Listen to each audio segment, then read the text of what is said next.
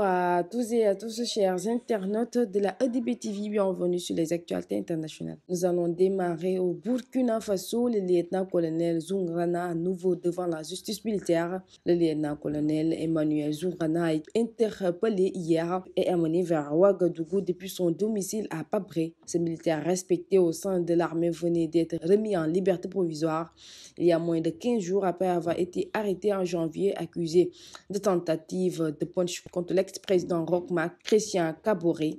Cette nouvelle interpellation a provoqué des tentations avec des soutiens regroupés pour empêcher l'interpellation. Ensuite, au Soudan du Sud, au moins 166 civils morts depuis le début des affrontements communautaires. Au Soudan du Sud, inquiétude au sujet des violences dans plusieurs États du nord du pays. Un responsable local a annoncé hier que 56 personnes avaient perdu la vie en 14 jours à cause d'affrontements intercommunautaires dans l'État du Jonglei.